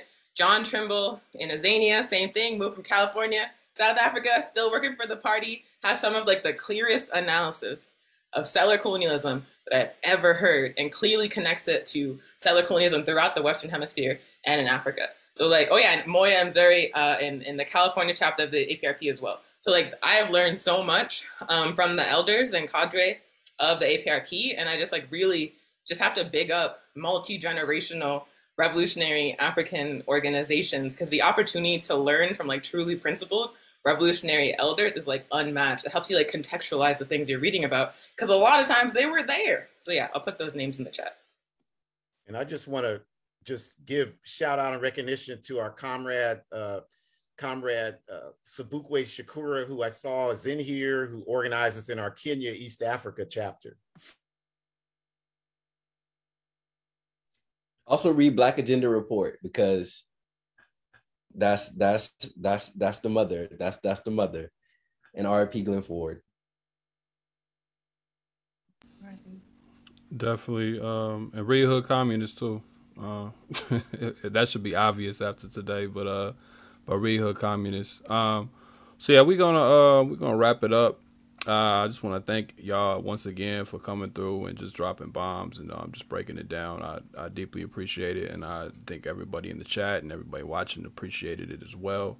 Um, I think I need to make a few announcements, and then um, we'll just we'll close out. Um, so hold on, let me. You can um, let me do the announcement. These announcements, okay. and you can do the other one. Okay, go ahead. Um, all right. So on February 21st, 2022, there is an event called uh, Political Prisoners and Colonized People, the Solidarity Imperative. And that is a webinar that is co sponsored by a coalition of several groups. Um, and it will look directly at key organizing challenges with updates from frontline organizers and analysis from longtime activists. Um, it will conclude with an open exchange on potential areas for future work together.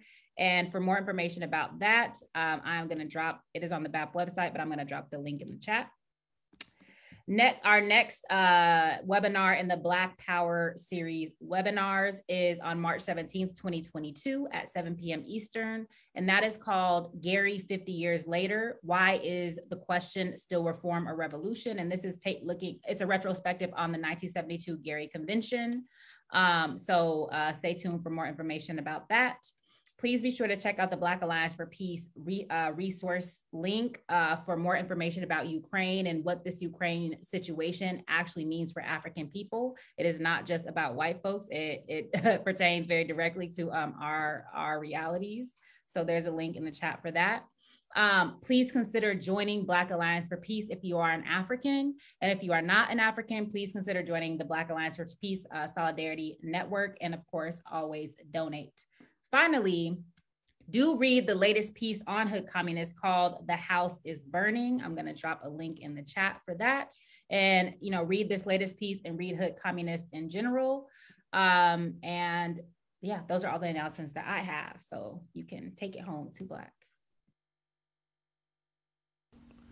I only have one announcement. Um, on Wednesday, um, yeah, on Wednesday, February 23rd of this month, um, there's a film discussion called um, Passing It On The Black Panther Search for Justice. Um, this is um, put on by the Pan African Action Community. It's a, a screening of the film, um, and it chronicles the story of uh, Dhoruba bin Wahad, a leader and member of uh, the New York Black Panther Party and a co founder of the Black Liberation Army, who was targeted by the FBI and wrongfully imprisoned for 19 years. Um, it says, What methods did the state use to target black revolutionaries? How can we continue the struggle to free all political prisoners? After the film, there will be a discussion with uh, Dhoruba bin Wahad, and I believe, yeah, Nefta just dropped Nefta just dropped dropped that link in the chat. So um, go ahead and sign up for that if you got time. Um, otherwise, we are going to get out of here. I think I hope everybody learned something. I think um, we have to deconstruct uh, Black History Month. I think it served its purpose uh, the way you know it might have been constructed formerly. Uh, but I think the vision that was laid out today um, helps us move beyond that. Uh, a lot of the tactics that were used when it comes to uh, representation, um, and I, I, also like to make the distinction that there's a difference between trying to combat white supremacy as opposed to just seeing yourself on the screen. Um, and a lot of times, Black History Month has been moved towards the, the latter as opposed to the former. But a lot of those tactics were done with a different set of conditions, and we need to adjust ourselves to the conditions of today um, so we can you know fight for liberation, uh, continuing to, to to do things that might be out or, that are outdated um, is not going to help us move forward. So uh, thank you everybody. Uh, no compromise, no retreat. Uh, peace out.